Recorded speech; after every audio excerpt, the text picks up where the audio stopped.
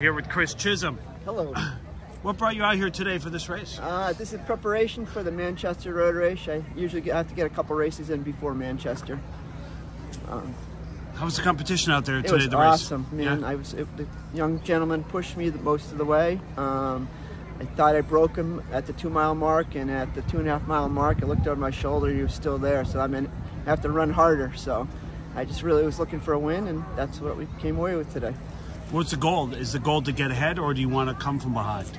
Um, in that situation, I am old, so I'm slow at the end. So I try to break them a little earlier, and then I can come back and hopefully hold on, hold on to the lead. What is one of the secrets to still being competitive at your age? Uh, I think it's uh, the right right product of shoes, and also I live in an area um, which is pretty much woods running, so I'm in the woods quite a bit, which doesn't beat up the body as much. My feelings, and also I do a lot of strength and um, stretching and yoga and stuff like that. How was the time today? I was happy. I don't know exactly what my time was. I was looking for like a 17:30 under 18, and um, I think I was pretty close to that because the young gentleman pushed me at the end, so I think I got that time.